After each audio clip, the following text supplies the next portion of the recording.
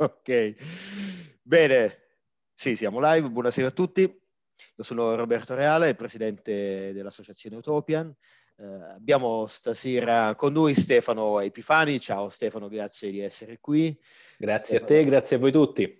Stefano ci parlerà di eh, sostenibilità digitale, di cui lui io credo sia il massimo esperto in Italia senza far torto a nessuno. Peraltro io sono reduce dalla lettura natalizia del, del suo ultimo libro sulla sostenibilità digitale, di cui naturalmente eh, parleremo dopo. Però Stefano, eh, sfatiamo un mito, sostenibilità digitale non ha, non ha, a che vedere con la sostenibilità in senso... Mh, diciamo, classico, no? quindi con il tema ambientale, o quantomeno non soltanto ma è un concetto molto molto... Beh sì, il, il, il, problema è proprio questo, la grande confusione che c'è attorno al concetto di eh, sostenibilità, intesa in senso appunto classico, se di classico si può, si può parlare, perché noi siamo abituati, soprattutto nel nostro paese, la, la, la situazione cambia radicalmente se eh, ci si sposta un po' al di là dei confini nazionali, siamo abituati a considerare la questione collegata alla sostenibilità come una questione prettamente legata all'ambiente.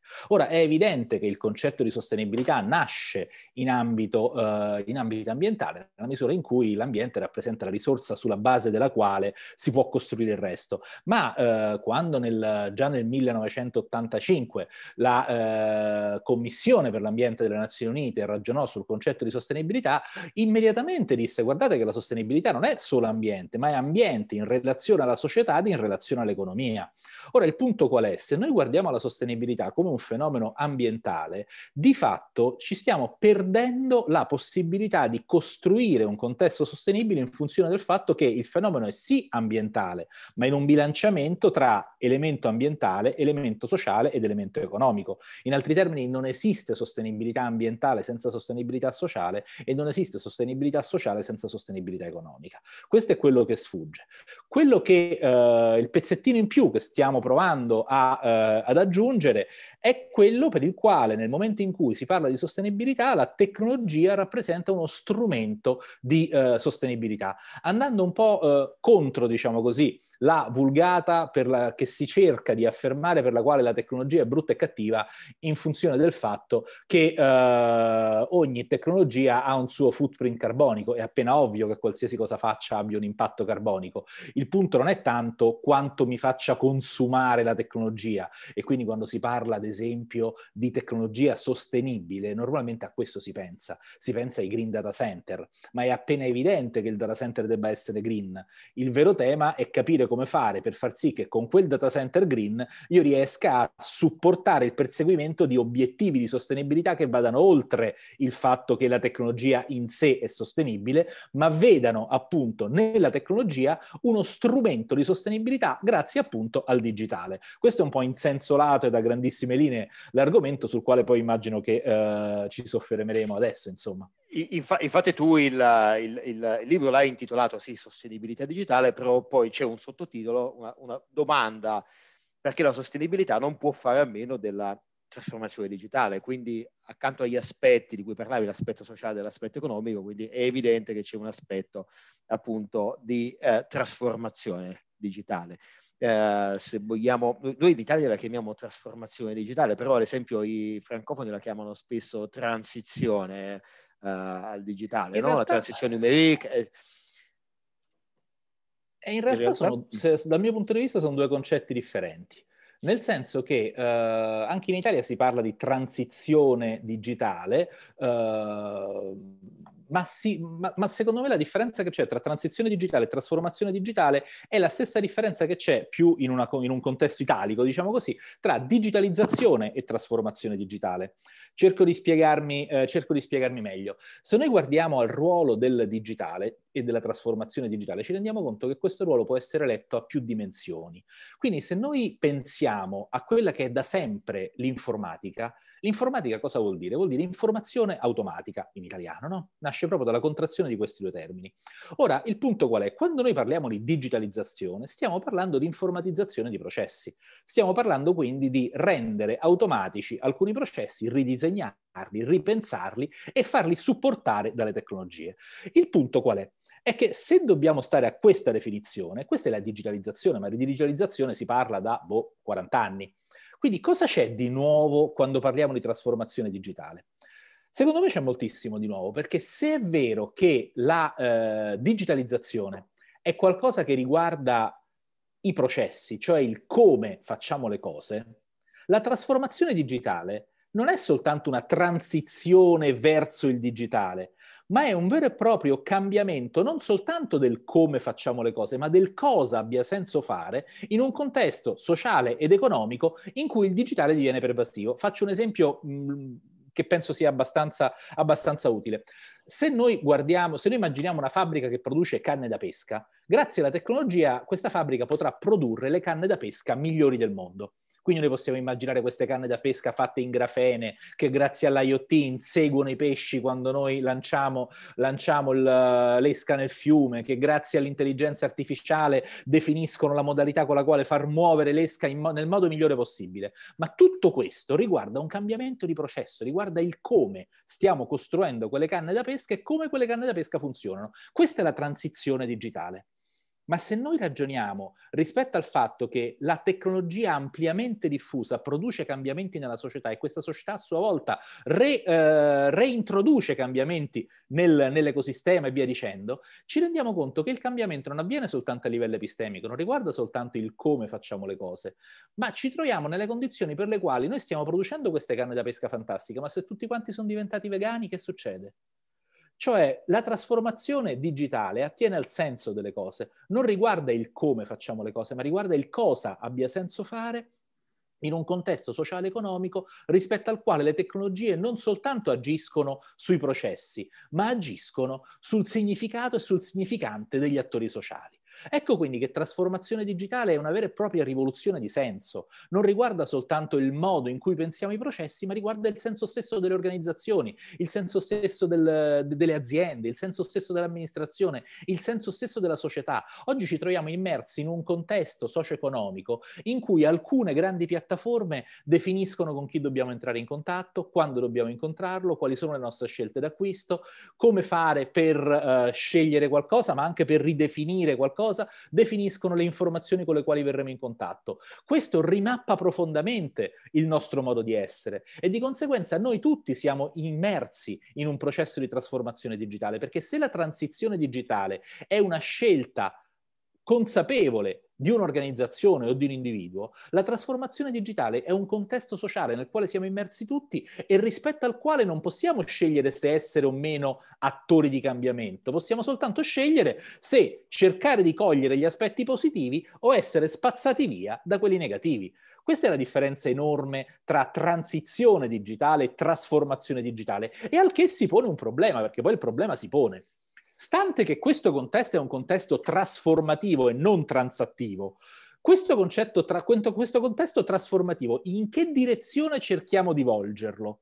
Ed ecco quindi che cominciano i grandi discorsi sull'etica dell'intelligenza artificiale, l'etica delle tecnologie, l'etica di oggetti che dal mio punto di vista rischiano di essere particolarmente pericolosi. Perché? Perché noi non facciamo altro che estromettere da noi la responsabilità della decisione, come se le tecnologie avessero un'etica che è indipendente da chi le sviluppa. In realtà non esiste un'etica dell'intelligenza artificiale, esiste l'etica del programmatore che sviluppa l'algoritmo, della società nella quale è stato sviluppato quell'algoritmo, o del contesto sociale, intendo, nel quale è stato sviluppato l'algoritmo. In questo senso diventa importante capire come fare per avere una mappa mappa che ci guidi verso questo modello di sviluppo.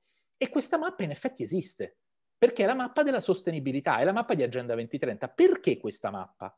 Perché il concetto di sostenibilità, prima parlavi del francese, in, in, francese si traduce con durabilità, durevolezza. Perché? Perché la sostenibilità guarda alla possibilità delle persone di perseguire i propri obiettivi, e di, e di, perseguire quindi il proprio percorso di miglioramento, senza che questo mini le possibilità delle generazioni successive di fare lo stesso. Quindi guarda a una dimensione di equilibrio dinamico della società in cui ognuno mira al miglioramento, senza che questo mirare al miglioramento consumi le risorse di chi verrà dopo di noi o di noi tra qualche anno. E in questo senso la sostenibilità rappresenta qualcosa di molto interessante a cui guardare che supera di gran lunga la sola dimensione ambientale, ma vede nella dimensione ambientale l'elemento di risorsa limitata, perché l'ambiente è tutto ciò ba- sul quale, come dire, noi agiamo, ma che si basa su risorse limitate. Risorse limitate che se le consumiamo male non saranno disponibili per le prossime generazioni e quindi rendono questo modello di sviluppo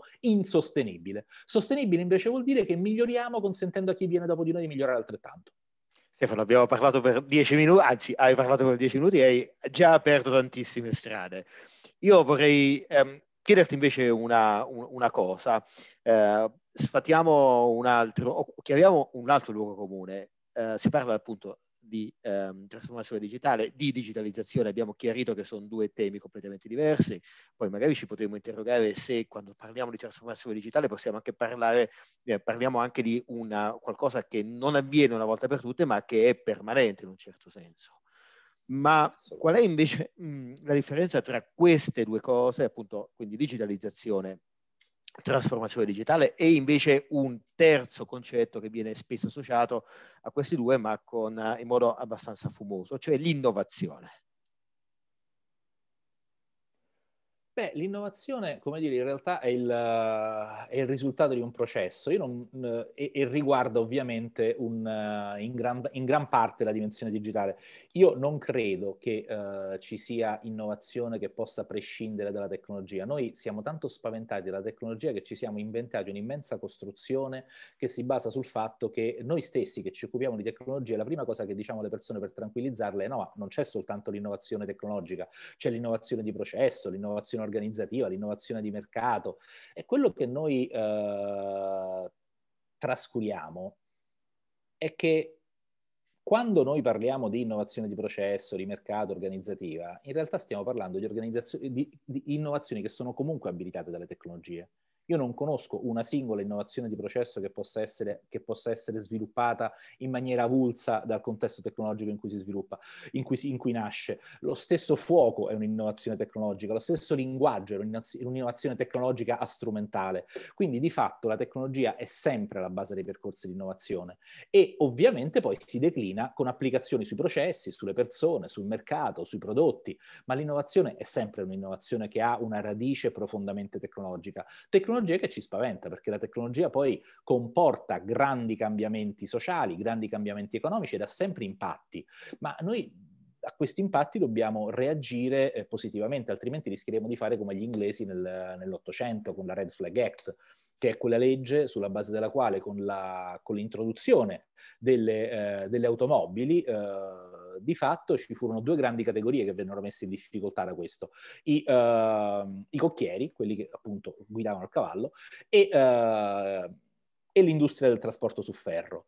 Il risultato dell'azione di lobbying di questi attori sociali di, di, tipo conservativo, terrorizzante, fu che indussero il governo inglese a emanare quella che venne definita Red Flag Act, la legge della bandiera rossa, che non è quella che trionferà, ma quella che imponeva a chiunque entrasse a Londra in automobile di essere preceduto da un avvisante a piedi che sventolava una bandiera rossa se, per avvisare le persone del potenziale pericolo. In realtà, questi sventolatori di bandiera erano i cocchieri che invece di preoccuparsi di diventare autisti e quindi sviluppare un percorso percorso di affiancamento grazie all'innovazione, di trasformazione grazie all'innovazione, si sono preoccupati di cercare di ostacolare l'innovazione e sono diventati avvisanti e chiaramente hanno, sono durati qualche anno, peraltro non soltanto a Londra, perché poi la stessa legge si è sviluppata a Washington, si è sviluppata a New York, è durata qualche anno e noi lo vediamo sempre. Ogni volta che c'è un'innovazione di tipo disruptive, c'è sempre una parte sociale che ne viene colpita e noi facciamo l'errore di sovrapporre la necessità di tutelare quelle parti sociali che vengono colpite dall'innovazione con la necessità di bloccare l'innovazione. Ma se noi disaccoppiassimo questi elementi, ci renderemo conto che da una parte c'è la necessità di promuovere l'innovazione, dall'altra, con il valore creato dall'innovazione, di tutelare quelle parti sociali che sono invece colpite dall'innovazione stessa, perché c'è sempre qualcuno che è colpito dall'innovazione, non possiamo nascondercelo. Ma possiamo, possiamo fare questa affermazione, cioè che lo Stato spende o, o comunque eh, dai, non, diciamo, non buttiamo, ecco, non buttiamo tutta la colpa addosso allo Stato, ma noi in quanto... No, non è soltanto dello no, no, Stato. No, no, no, intendevo, intendevo, volevo fare un piccolo passo, un piccolo passo avanti. e, ehm, e osservare il fatto che noi come società eh, tendiamo a essere a usare più risorse nella conservazione dello status quo anziché nell'apertura all'innovazione. No? Mm, se guardiamo anche un po' al bilancio dello Stato, eh, quali, quali, sono le voci di spesa maggiori? Quelle naturalmente per il pagamento degli interessi sulla, sul debito e poi le, la spesa sulle, sulle pensioni naturalmente. Sacrosanto, però se poi confrontiamo queste voci di spesa invece con eh, quelle per la ricerca di base e, e uh, in generale anche per, uh, appunto per l'innovazione stessa, ci rendiamo conto che c'è un'enorme disparità tra appunto le risorse che mettiamo in campo come appunto come le risorse che mettiamo in campo per conservare rispetto a quelle che mettiamo in campo per innovare. E naturalmente sì, il bilancio è un bilancio dello Stato, però è ovvio che quel bilancio probabilmente è espressione anche un po' della società italiana nel suo insieme. Italiana, ma chiaramente mutatis mutandis, lo stesso stato di cose lo troviamo anche, anche fuori dall'Italia. Eh, come eh, tu, tu, tu, nel libro in effetti parli di un futuro che sostanzialmente non è, eh, non è evitabile, no? Non è evitabile e, e non è ehm, perché ti chiedi ma il futuro è una scelta? E la, la risposta insomma è, è, è, probabilmente no, nel senso che possiamo fer- provare a fermarlo, no? Quanto possiamo, ma come appunto come, come nel caso che, che, come nell'esempio dei, dei red flags, ovviamente riusciamo a farlo per un po', ma poi il tempo che passa, il futuro stesso, insomma, avviene, ci travolge e, non, e, non, e, e se non ci siamo preparati per appunto accoglierlo, ci troviamo, ci troviamo travolti. No? E questa, tu come, come, come cioè se dovessi, pur, pur comprendendo no, che naturalmente è un fatto umano il provare a resistere all'innovazione, però se tu dovessi eh, ecco, un po' a provare a eh, convincere, convincerci della necessità invece di eh, lasciarci guidare anche dal cambiamento. Ma in realtà, in realtà il, la, la storia ci ha insegnato che l'innovazione produce benessere e l'innovazione, il progresso ha sempre prodotto eh, benessere. Poi ci troviamo di fronte sempre a quelle categorie professionali, a quegli individui e ripeto, non, è, eh, non dipende dallo Stato, ma dipende dalla società, dipende da noi.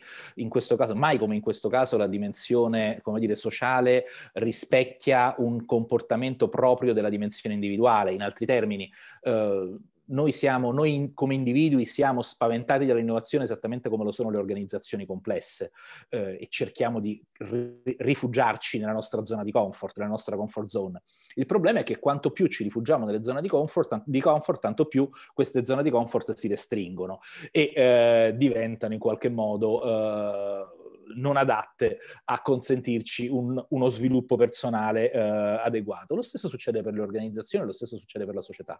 Noi eh, ci troviamo nella condizione oggi di vivere il tema della sostenibilità come un tema che ha un profondo impatto etico io, se dovessi convincere qualcuno da, uh, forse non so, non sono la persona più adatta perché sono un, sono un dannato razionalista, però uh, lo farei facendo presente che quando parliamo di innovazione sostenibile, quando parliamo di uh, sostenibilità, stiamo parlando della stessa cosa, perché di fatto la sostenibilità non è una questione etica, è una questione di sistema. È una questione di sistema complesso, nella misura in cui la sostenibilità è il modo che noi abbiamo per bilanciare tre elementi che sono inscindibilmente collegati, ossia la necessità di gestire delle risorse limitate e in competizione, che sono le risorse di cui si parla tanto in questi giorni nel uh, Next Generation Europe, no? quindi le, uh, le, risorse con le quali creiamo uh, benessere che si stanno consumando. A fronte di questo dobbiamo gestirle per costruire una società che risponda a un modello sociale che ci piace e questo ci piace è qualcosa che viene descritto molto bene da Agenda 2030 perché eh, se guardiamo la descrizione trasversale della società che dà Agenda 2030 e che dà il framework dei diritti umani, ci troviamo in una società equa, in una società nella quale si salvaguardano i diritti, in una società nella quale le persone non muoiono di fame, in una società nella quale si guarda il benessere individuale come elemento di riscontro del benessere collettivo, si guarda la parità di genere, si guarda un sacco di belle cose. Quelle belle cose che noi dobbiamo perseguire. Quindi quel modello sociale deve determinare un modello economico un modello economico che consenta di perseguire quel modello sociale nel rispetto dei limiti, dei limiti, di gestione delle risorse ambientali. Ora, tutto questo non è una questione di etica, è una questione di razionalità. O facciamo così, oppure stiamo bruciando il mondo dei nostri figli. E secondo me non è una cosa tanto bella bruciarci il mondo dei nostri figli. Già stiamo, per carità, non che sia impossibile, noi stiamo vivendo in un momento nel quale le generazioni precedenti si sono mangiate il futuro delle generazioni che le, che le successive, ma noi sappiamo che quello che è successo negli ultimi 50 anni nel nostro paese e in senso lato al mondo è di fatto profondamente insostenibile. Abbiamo due strade, o proseguiamo in questa direzione di insostenibilità dello sviluppo, oppure ci chiediamo quali sono gli strumenti che ci consentono di costruire un modello di sviluppo sostenibile. E in questo senso ci rendiamo conto che la trasformazione digitale, che è un contesto nel quale stiamo vivendo, è forse l'unica opportunità che abbiamo per uscirne, eh, come dire, non troppo malmessi. Perché? Perché la trasformazione digitale, il digitale in senso lato, è abilitante di alcuni modelli che sono particolarmente adatti a garantire lo sviluppo sostenibile. Perché quando si parla di economia circolare, non può esistere economia circolare senza digitalizzazione. Quando si parla di sharing economy, quella vera, quella giusta, non la gig economy, eh, come dire, venduta come sharing economy, non può esistere senza una dimensione digitale di base. Il problema è che quando noi parliamo di sostenibilità senza tecnologie, l'unica cosa che possiamo realisticamente fare è andare verso un drammatico percorso di decrescita felice che è senz'altro una scelta individuale molto romantica, ma dal punto di vista collettivo semplicemente non sta in piedi, perché i numeri non consentono ai miliardi di persone che abbiamo oggi al mondo di sopravvivere con un, mo- con un modello di decrescita felice. Lo consentono come scelta individuale, magari anche un po' snob. La mia, io vivo in campagna, ho un ettaro di terra intorno, eh, coltivo l'orto, ho le oche, ma molto banalmente quello che faccio io Uh, non è sostenibile su scala globale. Uh, permettimi un, una provocazione, se tutti quanti mangiassimo biologico uh, e rifiutassimo l'utilizzo per il biologico di tecnologie, non basterebbe la terra per coltivare biologico, quindi dobbiamo fare pace con noi stessi. O vogliamo il biologico, ma ci pieghiamo al fatto che ci siano tecnologie che lo consentono e quindi si sviluppa un biologico su scala industriale, oppure se vogliamo andare a cogliere la, la frutta dal contadino, probabilmente non c'è terra abbastanza per tutti.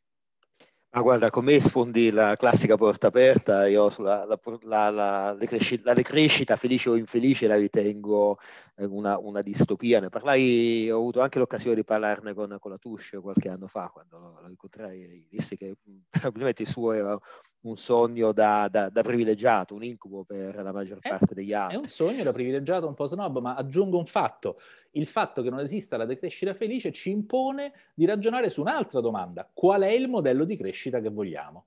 E qui si apre un altro quadro molto complesso, perché quando noi facciamo la famosa critica al capitalismo, eh, non ci rendiamo conto che eh, sul capitalismo si basa la nostra società, che è andata benissimo fino ad oggi.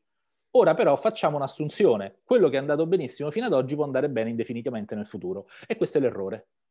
Perché? Perché se noi siamo nello stato attuale perché abbiamo avuto un modello di sviluppo di tipo capitalistico ed è stato il migliore che avevamo a disposizione, non è detto che questo modello, senza alcun correttivo, funzioni all'infinito. Io faccio un esempio molto banale quando, eh, visto che parlavamo di campagna, quando un vitello cresce, il vitello cresce di alcuni etti ogni eh, giorno nei primi mesi della sua vita e cresce in maniera lineare. Se continuasse a crescere con quella velocità, quando arriva a tre anni, peserebbe 6 tonnellate. Cioè sarebbe morto prima perché sarebbero collassati gli organi. Ora quindi cosa sto dicendo? Allo stesso modo ogni fase storica ha un suo modello di sviluppo peculiare. Noi fino ad oggi abbiamo vissuto in una fase che è stata prettamente capitalistica e che ci ha consentito di trarre il meglio di quello che si poteva fare. Marx, ti, domanda... Marx ti direbbe che questa è un po' la caduta tendenziale del saggio di profitto, no? il fatto che appunto esatto. tu hai, hai, hai, rendimenti che sono sempre minori, no? come nel caso del vitello. E quindi a questo punto cosa facciamo? Dobbiamo capire qual è un modello di sviluppo adatto alla nuova fase che ci aspetta che non può essere esattamente uguale a quello che, che stiamo superando, ma questo non vuol dire che quello che, abbiamo, che stiamo superando sia, sia, stato cattivo. Però la critica è al, l'eventuale critica è al capitalismo o al capitale in sé, perché eh, poi, sai, lì dovremmo scomodare un po' gente come Piketty che ti dice che invece non è il capitale in quanto tale, no? ma è appunto uh, la forma d'uso no, del, eh, del capitale sì, come c'è, Stato. C'è, c'è addirittura, eh, ci sono una bella serie di studi che dimostrano come le critiche al capitale siano tutte quante infondate in quanto partono tutte quante da tre, da tre presupposti, tecnici, morali o etici. E eh, c'è un bellissimo libro che li smonta tutti quanti. Il problema che però a questo punto ti giro è eh, come stiamo pensando che nei prossimi, non dico 100, ma nei prossimi 30 anni sarà costruito il concetto di capitale. E questo ci ricollega al tema delle piattaforme e ci ricollega quindi a una dimensione tecnologica, ci, anzi ci ricollega a una dimensione tecnocentrica dello sviluppo, perché noi sappiamo che oggi la maggior parte dell'economia ruota attorno a delle dimensioni che sono collegate a stretto, a, a un, con un filo strettissimo alla platform economy, alla platform society. E anche su questo si sta ri- riproducendo lo stesso errore che abbiamo visto in passato. Cioè abbiamo da una parte la Zuboff che dice che stiamo vivendo nel capitalismo di sorveglianza, che è brutto e cattivo perché si chiama Google, ma quando sostituiamo a Google, sempre per la Zuboff, lo Stato diventa bello e buono. Ma, ma, infatti, dice... eh, ma, ma, infatti, anche su questo io ti volevo poi appunto portare un po', perché tu nel tuo libro naturalmente poni tutta una serie di alternative, no? e tra, tra queste c'è anche sicurezza, sicurezza o appunto, anzi privacy o controllo. No? e, e parli chiaramente, parli oh, chiaramente della, della Zuboff, del, del, suo libro. Peraltro oggi ho scoperto che in realtà la Zuboff non è stata la prima a parlare di capitalismo della sorveglianza. Eh, ma se ne parlava un paio d'anni prima e se vuoi ti dico anche uh-huh. chi ne parlava, però aspetta me lo sono appuntato, ah, ecco qui nel luglio 2014 uh, Bellamy Foster e McChesney ne parlavano, quindi un, un anno prima in realtà di, del, dell'articolo della Zuboff del 2015 e poi eh, e cinque anni prima del, del suo libro, del, suo libro. del 2019. Eh, però appunto tornando un po' alla, al tema, quindi alla, un po' all'alternativa privacy o, o controllo, è un'alternativa antica, no? eh, se, se, vogliamo possiamo anche risalire un po' anche al pensiero filosofico, possiamo risalire a Foucault, alla sorveglianza, alla, o addirittura a Bentham, no? con la, appunto col panottico, col, col panoptico. Con, esatto, con lo Stato sostanzialmente al centro e tutti tenuti costantemente d'occhio.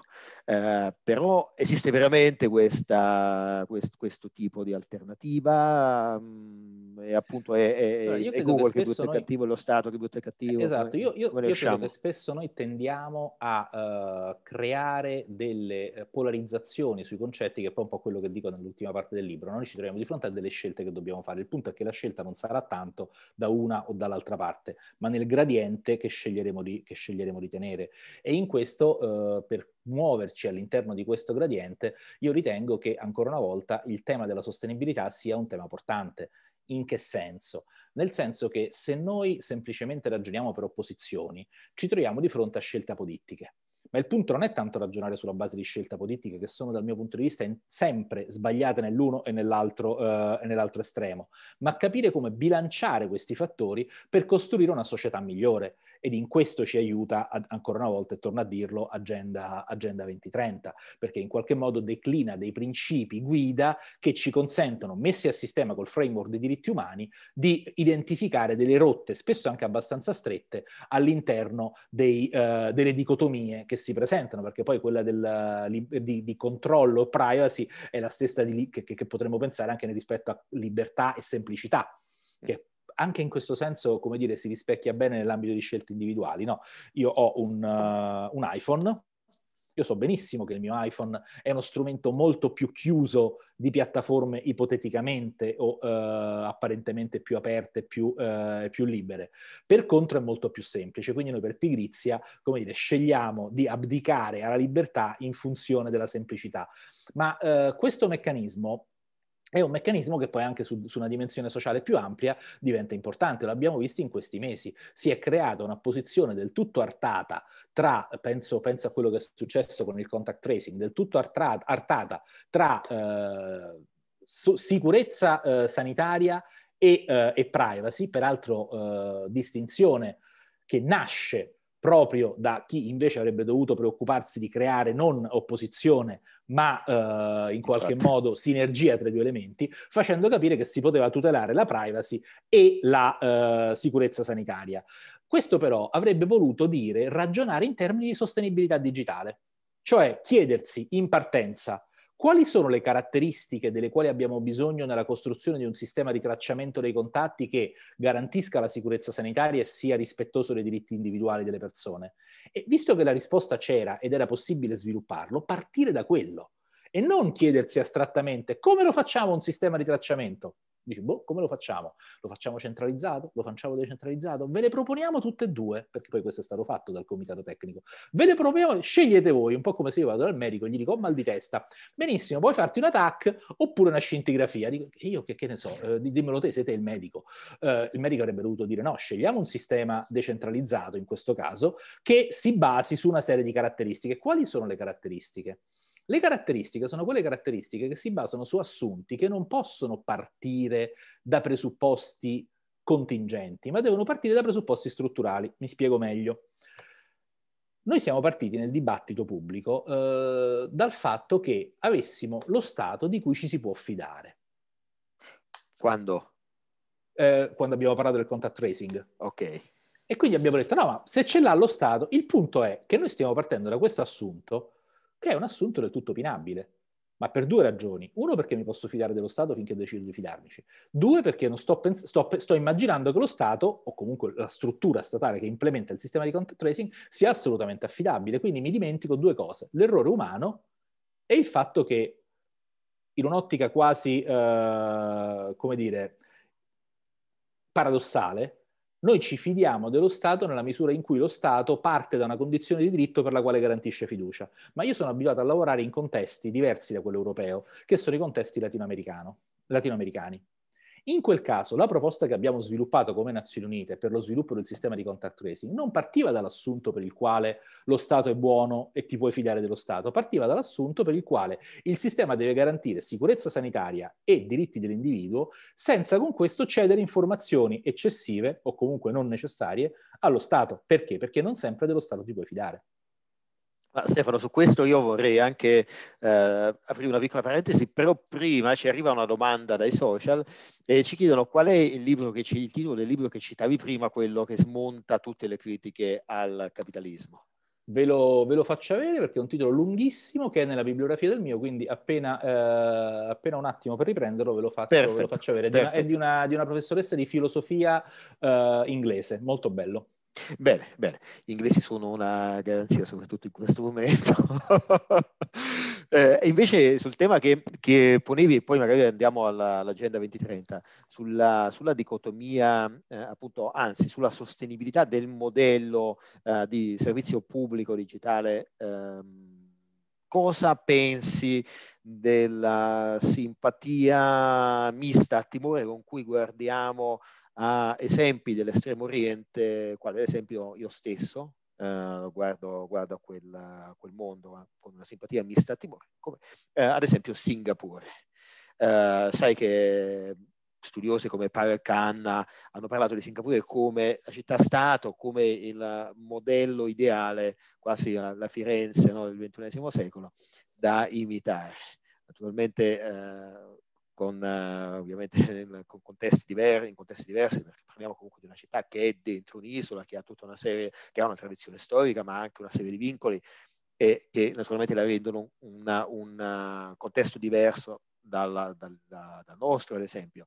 Però eh, le notizie che ci giungono ci fanno, ci, fanno, eh, ci inducono a vedere quel tipo, di, quel tipo di società come una società che ha fatto una scelta ben precisa, cioè ha dato priorità alla sicurezza a scapito probabilmente della privacy. Io non sono certo che, che, che, che termini, la questione sia esattamente in questi termini, ma comunque anche perché tu mi dicevi giustamente che non dobbiamo ragionare appunto in termini di opposizioni, di, ma eh, tu come guardi a quella, a quella realtà? È un, come, è, un come, è un po' come quando uno dice che bella la campagna, ma non ci vivrei. Mm.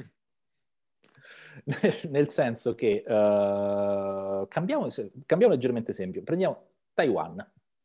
In questo momento Taiwan è il posto al mondo probabilmente col minor numero di contagi, sono a contagi pre- pressoché zero, ci dicono. Eh, me lo dicono anche alcuni, alcuni ex, miei, miei ex studenti che vivono lì.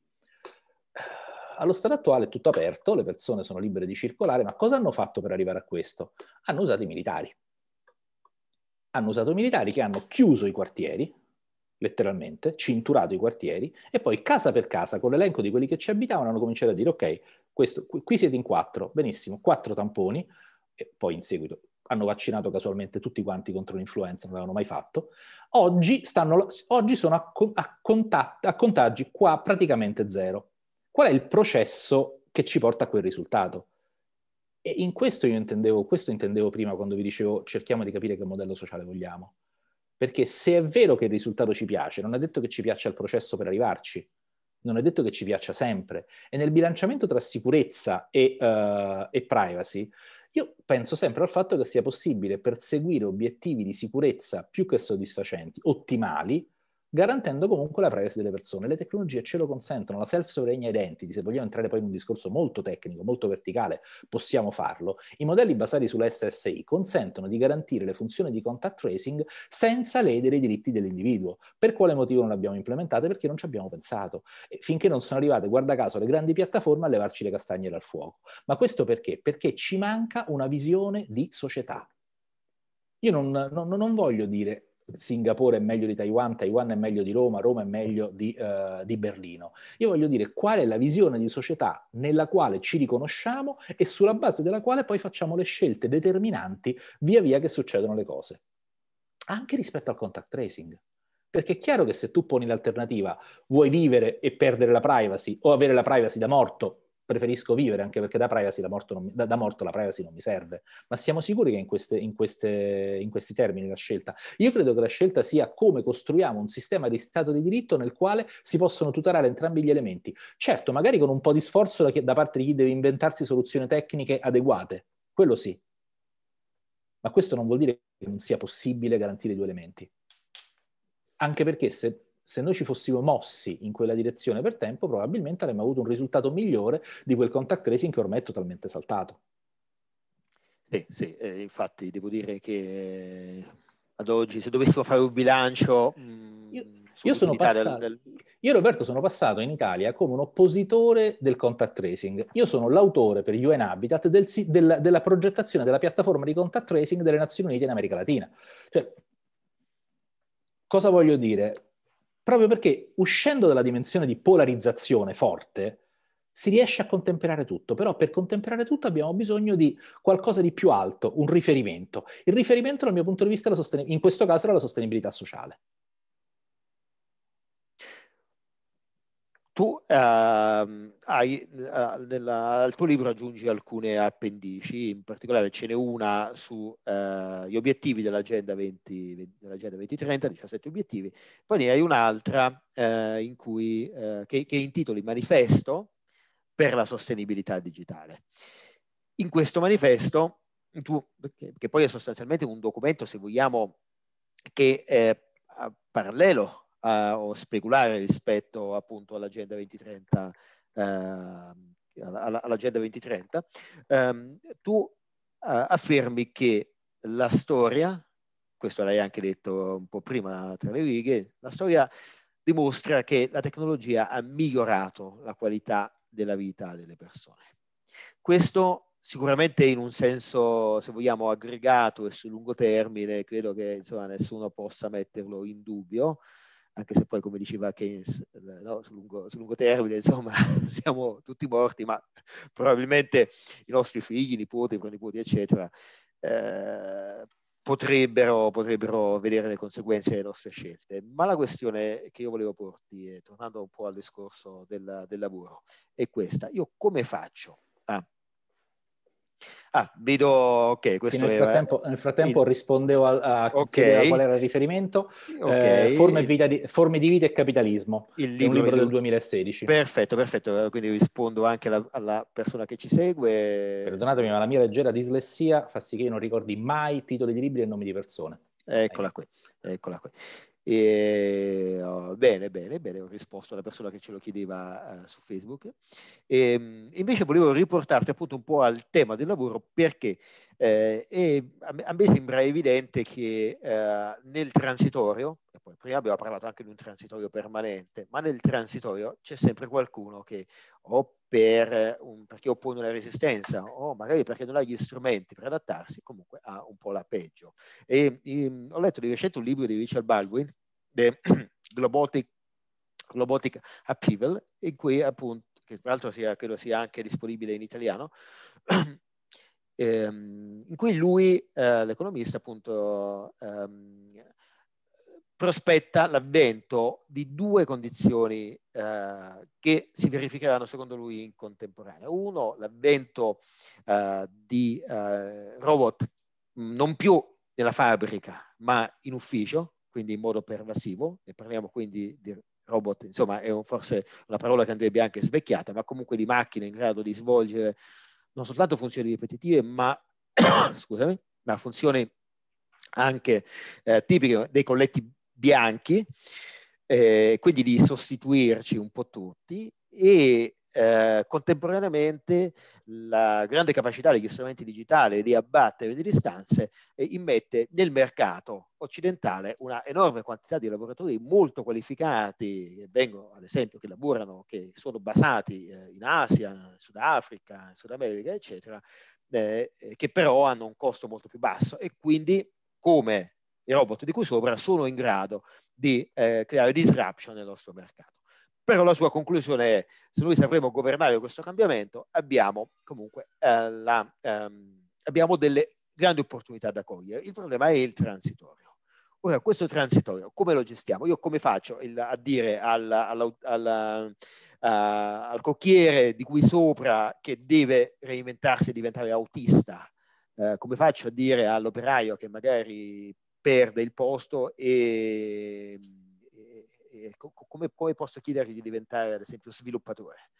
Eh, magari ha fatto per tutta la vita quel, quel tipo di, di, lavoro. Insomma, eh, riusciamo a pensare a un modello che non tenga, eh, che non lasci nessuno indietro. Che poi, è che, poi è, che poi è esattamente il, la tagline di Agenda 2030, non lasciare nessuno, uh, non esatto. lasciare nessuno indietro. Io credo che sia uh, difficilissimo, credo che non sia impossibile, credo che eh, entro certi limiti dovremo abdicare al fatto che ci sono alcune categorie professionali, cate- alcune categorie che necessariamente, eh, rispetto alle quali necessariamente non possiamo che pensare a meccanismi di eh, sussidiazione. Mi spiego, uh, mi spiego con, con, grande, con, grande, franchezza. Noi uh, veniamo da un mondo in cui il ciclo di vita delle competenze professionali dell'individuo era trentennale. Cioè io mi eh, diplomavo, mi laureavo, dopodiché potevo fare più o meno quel lavoro, pur uscivo dalla scuola professionale, potevo fare quel lavoro per 30 anni e poi andavo in pensione. Ora abbiamo un ciclo di vita di competenze, non lo dico io, ce lo dice l'Ox, che è di circa tre anni. Questo vuol dire che se o noi entriamo in un contesto di cambiamento continuo, oppure non siamo in grado di star dietro all'evoluzione del mondo, il che non è necessariamente bello, ma è così. Quindi dobbiamo in qualche modo farci, eh, farci, la pace con questo fatto. Il problema per chi si pone? Si pone per quella categoria che è tendenzialmente tra i, tra i 50 e i 65 anni che eh, in qualche modo è abituata al vecchio meccanismo, quello per il quale di 30 anni in 30 anni entrano nuove risorse. A questo punto la domanda che, che io pongo è, noi possiamo pensare di bloccare un percorso di sviluppo intero per una fascia anagrafica di 15 anni che va tutelata? Forse ci costa di meno pensare di sussidiare parzialmente o totalmente quella fascia e spingere al massimo possibile sulla, sull'efficientamento di tutte le altre. L'idea qual è?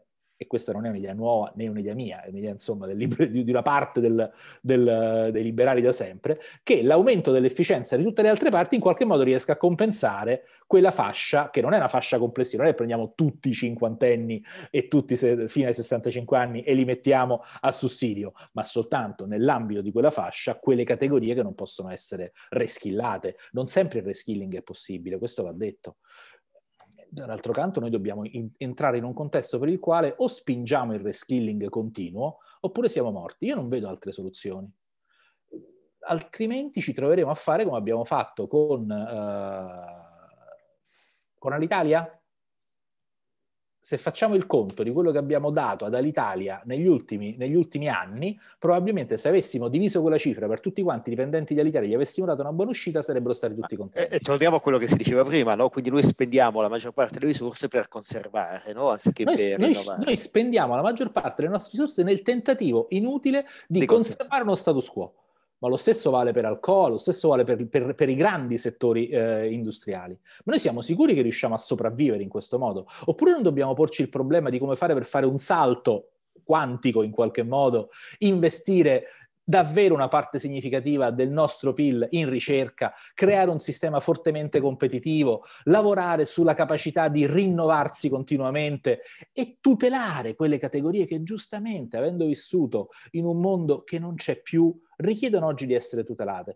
Perché se no il rischio è che, perché, attenzione, il mio timore è che se non facciamo così, ci troveremo in un meccanismo che è del tutto perverso, per il quale chiediamo a quelle categorie che stiamo difendendo, cioè gli ultra cinquantenni, non ne voglio fare una questione generazionale, ma è anche una questione generazionale, gli ultra cinquantenni eh, da in qualche modo supportare, chiediamo a quelle categorie protette, proteggendole, di sussidiare i giovani. Investiamo nei giovani per guardare a, a, agli anziani, non investiamo negli anziani per tutelare i giovani. Noi stiamo lavorando al contrario.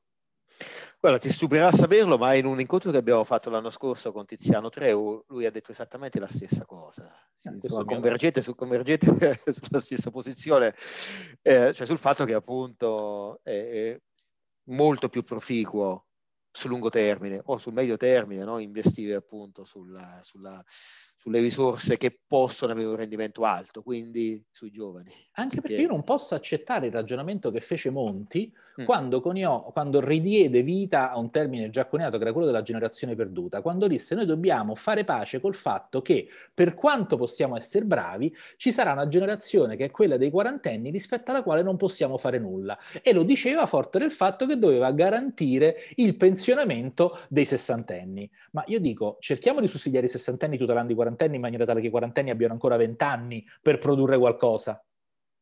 Invece che... Sì, anche, anche, se questo, almeno secondo me, non deve diventare un disincentivo al lavoro a chi volesse lavorare anche fino a 90 no, anni. Ma, cioè, tanti, no, no, ma no, perché... io, sto facendo, Però... io sto facendo una questione grafica, ma in realtà è una questione di competenze.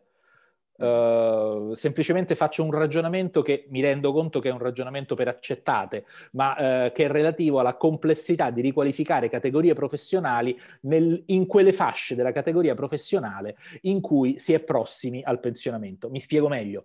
Uh, fa, prendiamo un, il caso tipico, i tassisti.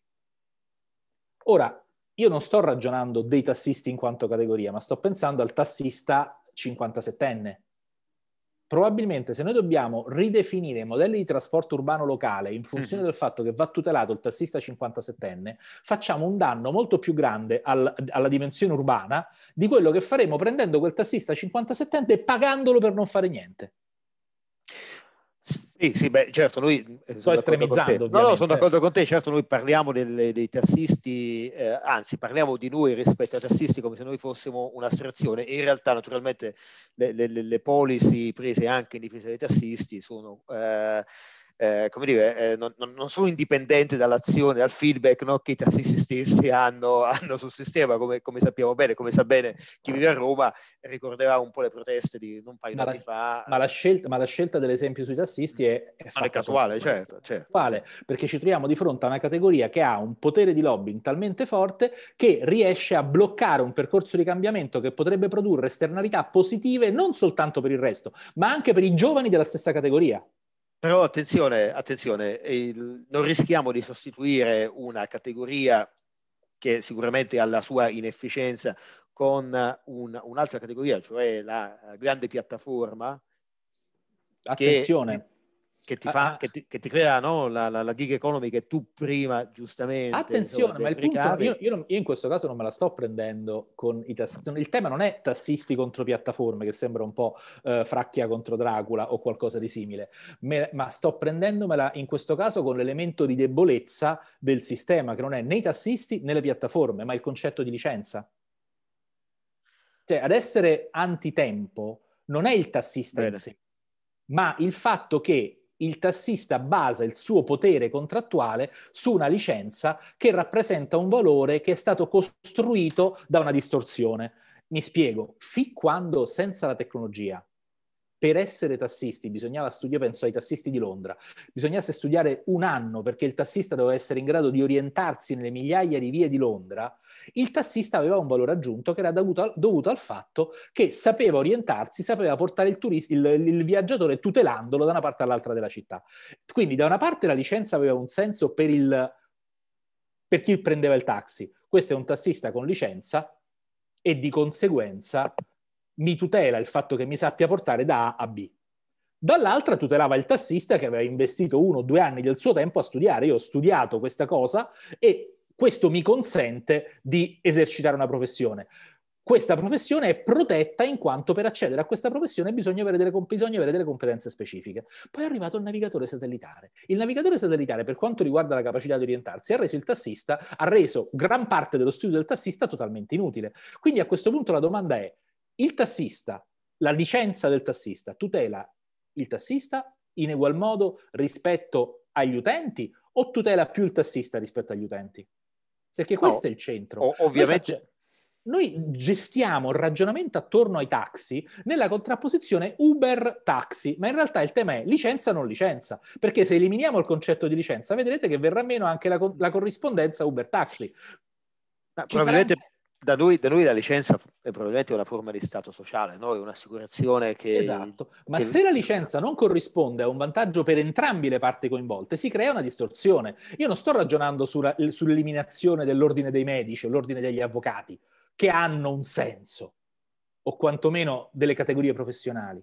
Io sto ragionando sul senso di licenze di concessioni che hanno perduto valore in funzione dell'innovazione tecnologica. E aggiungo un fatto, Aggiungo un fatto che è sostanziale. Noi guardiamo alle piattaforme, ma cominciamo a guardare a ciò che, piattafo- che le tecnologie abilitano in contrapposizione alle piattaforme. Pensiamo a quella che viene definita coopera- quello che viene definito cooperativismo di piattaforma, mm. perché noi oggi siamo, immag- siamo abituati a pensare a delle piattaforme che sono gestite da attori esterni al sistema. Quindi se utilizziamo Uber stiamo portando valore al di fuori del contesto urbano. Ma se la piattaforma fosse la piattaforma creata dai tassisti, restituirebbe valore alla collettività.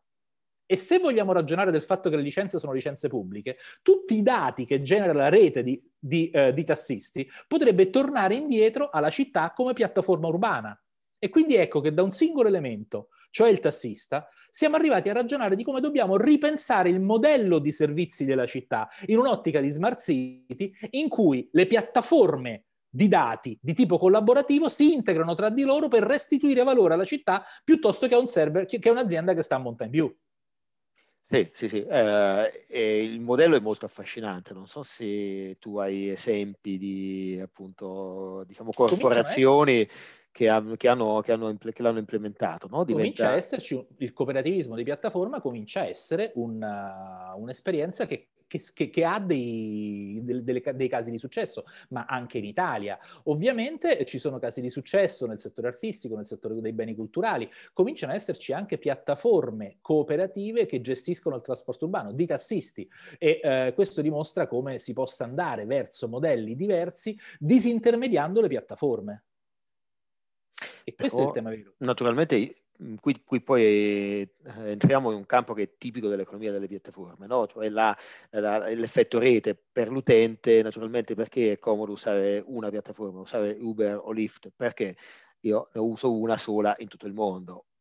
Nel caso, nell'esempio che fai tu della, della corporazione dei tassisti, naturalmente la corporazione stessa dovrebbe avere una dimensione globale, altrimenti altrimenti non funziona probabilmente, no? Perché chi è disposto? Guarda, io ti dico, io vivo, vivo a Bruxelles e, e, qui per esempio ci sono forse una trentina di servizi di sharing di, ehm, di monopattini, eh, biciclette e, e, altri insomma mezzi di trasporto eh, sostenibile, diciamo così, forse più di una trentina. Eh, questo significa che uno deve avere, e peraltro servizi che non si parlano tra loro, devi avere un numero no, eh, appunto equivalente di, di, di, app installate per poter... Se io dovessi naturalmente muovermi tanto tra una città e l'altra, dovrei avere, no, supponiamo che appunto io abbia la gilda dei tassisti di Bruxelles, quella di Roma, quella di Londra, quella di Parigi, poi quella di Napoli, quella di, di Terni, di Frosinone e così via. Um, è chiaro che sulla dimensione locale, secondo me, la cosa non funziona. E adesso non voglio fare l'avvocato del diavolo. Eh, però... No, no, ma in, a questo ci sono due, uh, due tipi di osservazioni. Da una parte esistono le piattaforme federate, quindi non è essenziale che uh, ci sia una sola, come dire, gilda di, uh, di, tassisti, ma è sufficiente che si torni in parte all'internet dei protocolli rispetto all'internet delle piattaforme. Quindi nel momento in cui si possono creare meccanismi federati, un po' come succede con gli ERP delle aziende, no? quando si fa la, federaz- la federazione dei sistemi, uh, il fatto che ci siano dei protocolli di intercomunicazione che consentono alla piattaforma A di interloquire con la piattaforma B, consente a queste piattaforme di condividere gli utenti in un'ottica di self-sovereign identity, cioè consentendo a ogni utente di, di condividere soltanto i dati che ritiene opportuno condividere. Detto questo, bisogna poi ovviamente discriminare i le tipologie di servizio, perché se quello che dice è senz'altro vero per i tassisti rispetto a quella, ahimè, ristretta fascia di utenti che come noi viaggiano molto, è molto meno vero se pensiamo per esempio ai rifiuti, alla gestione dei rifiuti non, non, non, mi servono 268 piattaforme di gestione dei rifiuti perché comunque alcuni servizi hanno un vincolo con la localizzazione che è, molto, uh, che è molto forte. Diversamente mi serve un sistema di federazione anche per i rifiuti se io alzo un pochino l'asticella e non guardo alla gestione dei rifiuti casa per casa, ma guardo al sistema complessivo di gestione dei rifiuti. Ma anche in questo senso servono tecnologie legate al trust che abilitino sistemi multi, multi-stakeholder per la gestione del processo di, di riciclaggio del, delle materie prime. Ma anche questo la tecnologia lo rende possibile. La tecnologia non è mai un problema, il vero problema è la nostra capacità di applicare protocolli comportamentali comportamentali e protocolli di gestione a eh, tecnologie nuove e questo vuol dire essere in grado di ripensare i processi. Bene, bene Stefano. Eh, voglio usare questi ultimi cinque minuti per eh, portarti su un terreno completamente diverso e chiederti eh, invece di un, di, un, progetto che a me ha sempre affascinato, cioè Tech Economy, no? il tuo progetto editoriale. Eh, come è nata l'idea, per chi non lo conoscesse, ma credo siano pochi in Italia a non conoscerlo, il tuo, il tuo, il tuo, il tuo appunto un progetto editoriale, una testata che ormai insomma ospita contributi quotidianamente, insomma, e, e peraltro Beh. che tu hai di recente appunto anche no, un po' rebrandizzato sì. appunto in vista sì, dell'agenda sì, 2030. Come, come, è nata l'idea? Beh, Tech Economy nasce nel 2012 da un gruppo di docenti universitari che al tempo volevano fare quello che si chiamava multiblog, il blog multiautore, ragionando proprio sul fatto di creare un, un nodo che fosse uh, in qualche modo più visibile e, e, soprattutto che consentisse di ragionare in maniera più coordinata rispetto ai progetti editoriali dei blog che ognuno di noi aveva. Siamo partiti e la cosa, devo dire, è, ha funzionato, nel senso che tra virgolette ci abbiamo anche preso gusto, tanto che abbiamo poi cominciato anche a eh, uscire dalla dimensione del, degli editoriali e abbiamo avuto una breve fase della vita di Tech Economy nella quale abbiamo anche fatto news. Poi eh, a un certo punto mi sono reso conto, eh, la riflessione che abbiamo fatto con, eh, con gli amici che hanno che inizialmente erano con noi, è stata di questo tipo. Ma che tipo di, ancora una volta, come dicevo prima, che tipo di società vogliamo? Che tipo di oggetto vogliamo? Uh, e ci siamo resi conto che per lavorare in un'ottica uh, business collegata a quel settore dovevamo lavorare su un modello di business profondamente legato al traffico. E uh, al tempo, 2012-2013, di fatto questo avrebbe voluto dire defocalizzare rispetto al nostro obiettivo, che era ragionare sul concetto di trasformazione digitale e farlo per un pubblico di specialisti, per un pubblico comunque di appassionati, di docenti universitari, di studenti, di imprenditori, di chi volesse capire meglio la trasformazione digitale.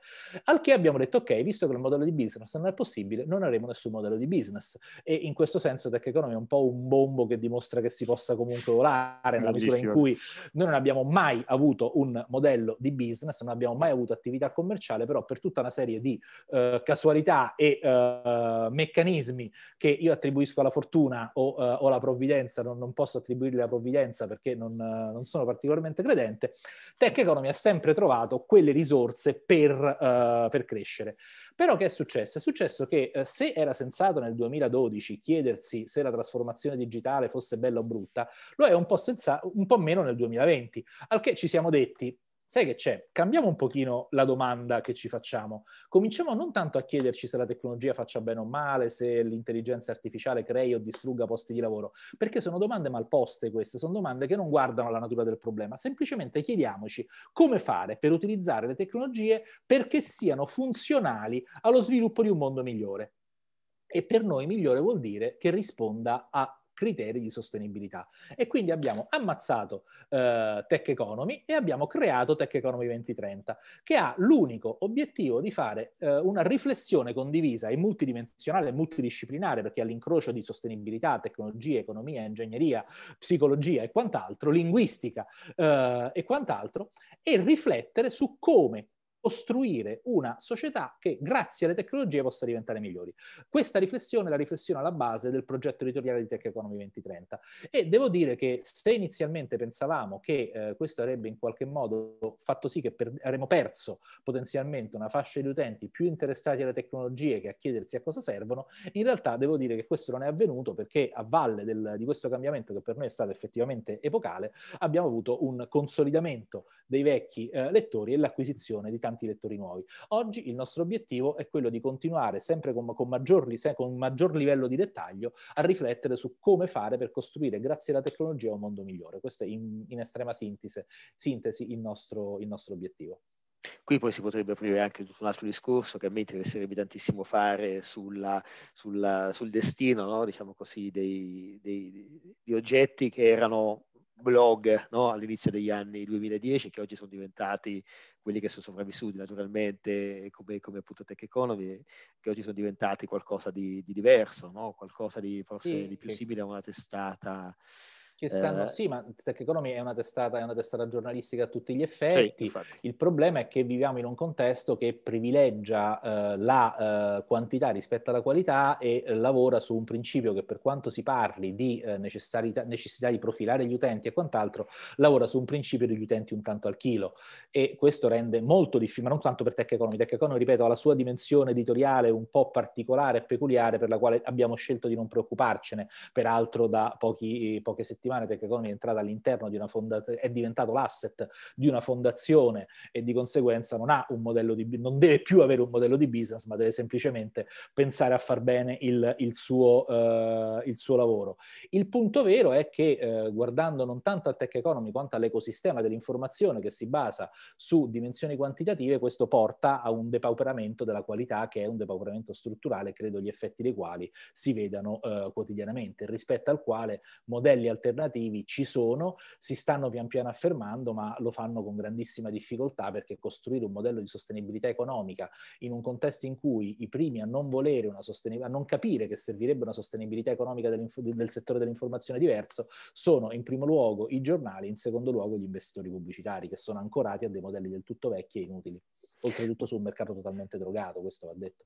Bene, di questo parleremo giovedì, questo giovedì con Antonio Pavolini, eh, che insomma, ha, ha, ha, dedicato anche, ha, dedicato a questo tema qualche, qualche studio e anche un suo ultimo libro. Bene Stefano, io ti ringrazio tantissimo di essere Grazie stato con noi. Grazie per l'invito, a tutti voi per la pazienza e ci si legge online immagino. Assolutamente, assolutamente. Grazie ancora a Stefano Epifani, buona Grazie serata a, a tutti. Ciao. ciao.